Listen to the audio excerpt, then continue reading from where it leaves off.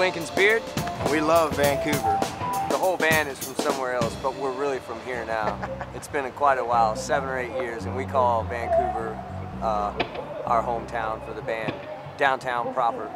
Thanks, folks, for coming out this evening with Lincoln's Beard. Oh,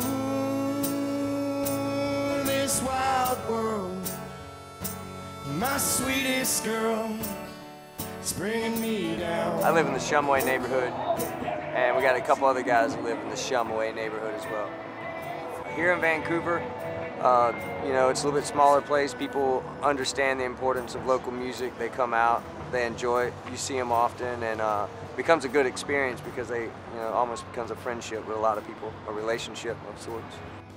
When we're on stage, I don't really question what these guys are doing, and I listen more to, I'm able to listen to myself and fit it into what they're doing. Uh, when you're at a live show, you're kind of put on point, and things have to happen then, and the energy has to stay up, and all that has to resonate with all the people in the band. And you have to be able to talk to them on stage without being like, hey.